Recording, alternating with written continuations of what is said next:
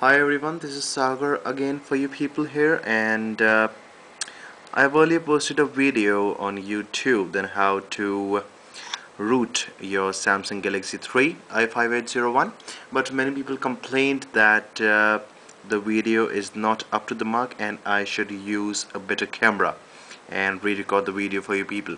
So that's what I'm doing right now here. So now with a better camera just showing you people my video on uh, live wallpapers. Been running on Samsung Galaxy 3 uh, this is my video showing you people live wallpapers.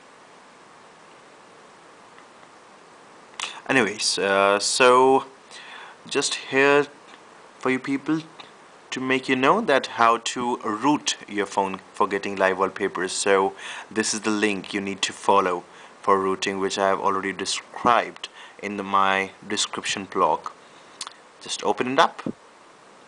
And when you'll open it this is going to be the website you will see XDA developers.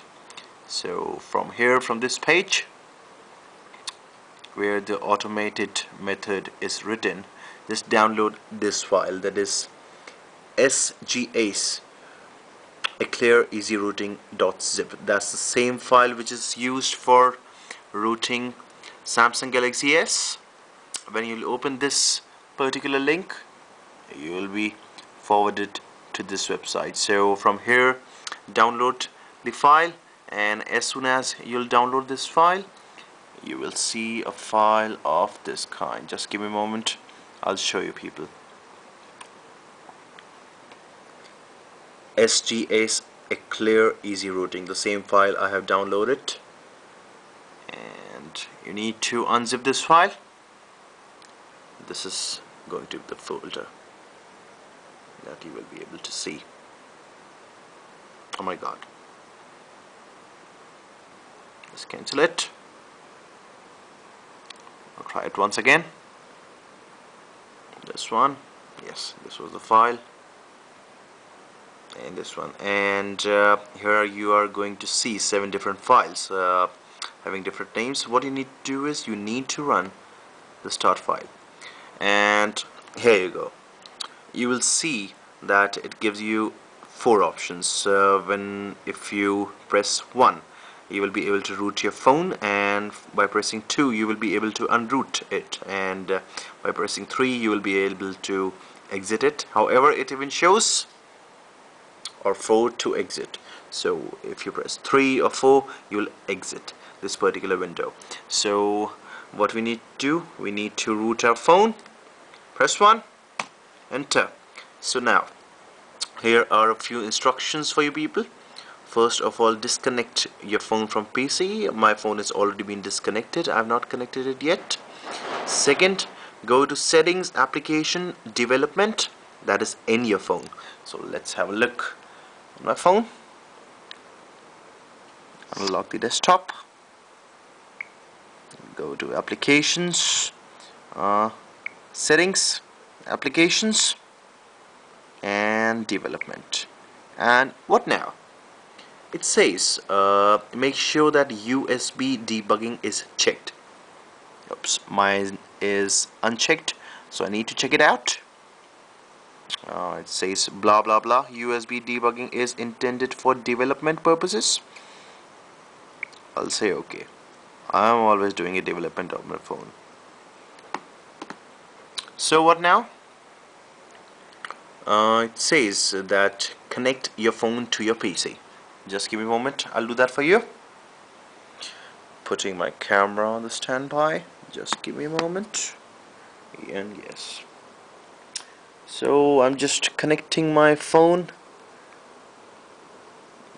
to my laptop with help of the data cable. And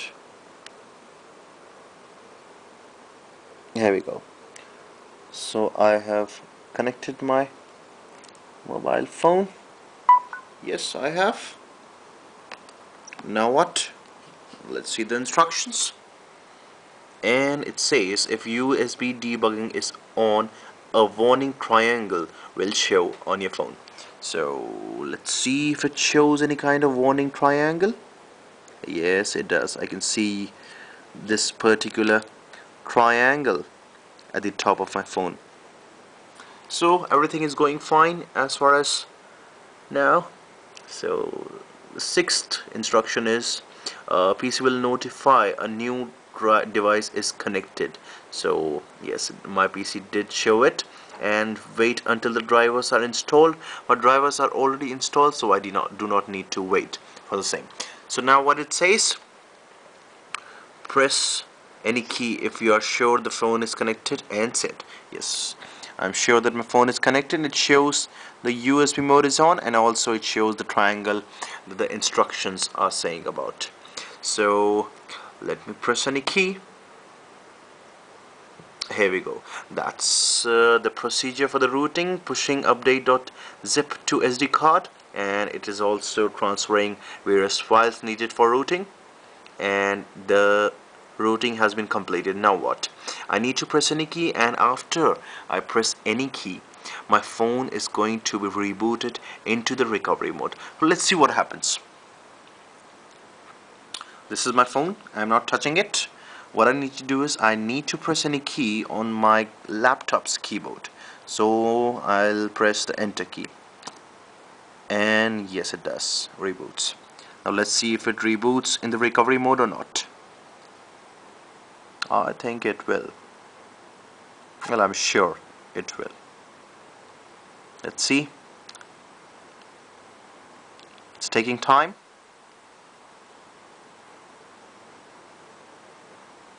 Yes.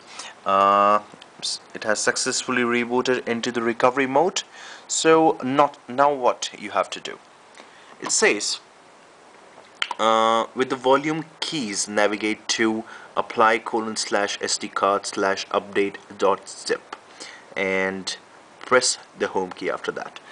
So what I'll do is I will just navigate using the volume keys which is there on the side of your phone. You can see that. These are the volume keys. Everyone knows about it. So the first option is rooting system now second apply SD card slash update dot zip. That's what I need to do. So just go to this option and press the home key this one. Done that. Now this sign has come. It means that something wrong, wrong is going on with your Android device. But don't worry nothing is wrong yet. I'll press the key again and the rooting job goes. Phone is rebooting this time it will reboot in a normal mode and not in a recovery mode. It will take time that's for sure because uh, it will restart as if uh, it is uh, booting for the first time ever.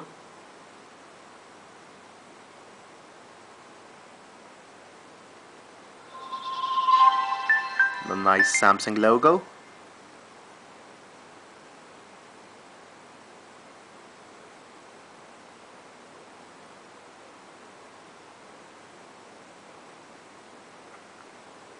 yeah yeah we know it's a Samsung phone. Make it fast.